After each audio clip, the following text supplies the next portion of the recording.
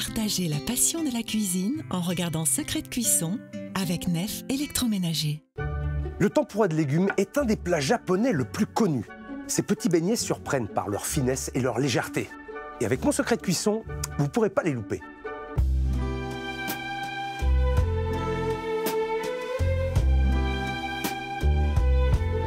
Je coupe les courgettes en rondelles. Je les fais dégorger au sel. Pendant ce temps, je coupe les poivrons en bâtonnets et les oignons en rouelles. Dans un saladier, je mélange la farine, la fécule de maïs, plus légère que celle de blé, un peu de sel et la levure chimique. J'ajoute de l'eau gazeuse très froide et je trempe les légumes dans la pâte. L'eau gazeuse froide crée un choc thermique quand je plonge mes légumes dans la friture.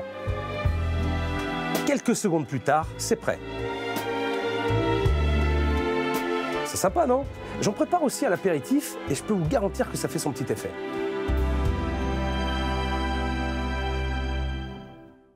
Partagez la passion de la cuisine en regardant Secret de cuisson avec Nef électroménager.